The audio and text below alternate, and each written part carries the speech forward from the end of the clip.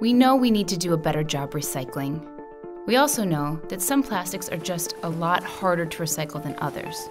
And when you hear about the millions and billions of pounds that end up in landfills because they don't have a home for it, you start to realize how big of a problem this really is. Rehrig Pacific is helping to bring lost plastics back into the circular economy. The items they make are the kind of high quality, high usage plastics that function for years. A good place for homeless plastics to go. Here's the big idea. If Rehrig Pacific were able to source the kinds of materials that are really hard to recycle for their products, that would be huge. So that's what they're doing. For any new product that we develop, we're proactively confirming the application and the design requirements prior to selecting the material blend that would be used in the finished product to effectively meet the customer's sustainability needs. It all starts with guys like Trent Williams, a materials engineer at Rehrig Pacific's best in class research and development lab in Kansas City. You have an available stream, uh, and they said this is what the product was. Could be an old toy, a piece of outdoor furniture, something plucked out of an ocean. They'll bring it to me. I'll put it underneath some equipment that's going to fingerprint it. I can say, okay, that can be used into this product. The materials engineering team figures out the properties of the plastic stream and finds an ideal home for its recyclate. Let's pick up bulky rigid plastic commonly found curbside. Polypropylene car seats. Those have been kind of a problematic thing for recyclers. They are a multitude of polymers, and what we'll do is help identify of that what is going to be useful for Rehrig.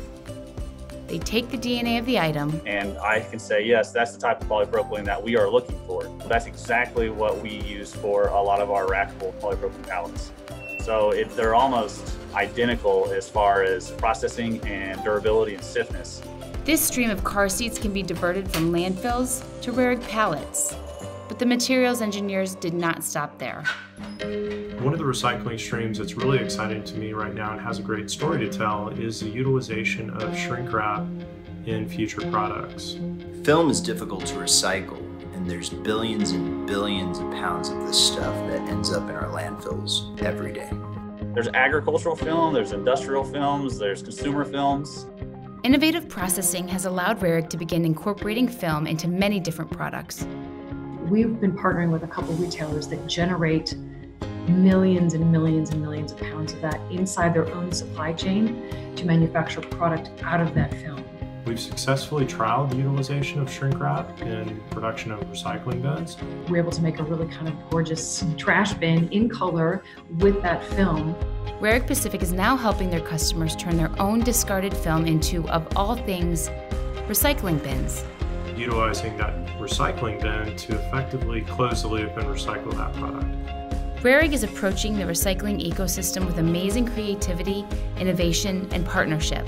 Their programs focus on ocean waste, on beverage and food systems, automotive materials, and they're all finding new life in Rehrig's returnable beverage, dairy, and agriculture crates their pails and pallets. With every program they develop, Rehrig Pacific is making a measurable, scalable difference.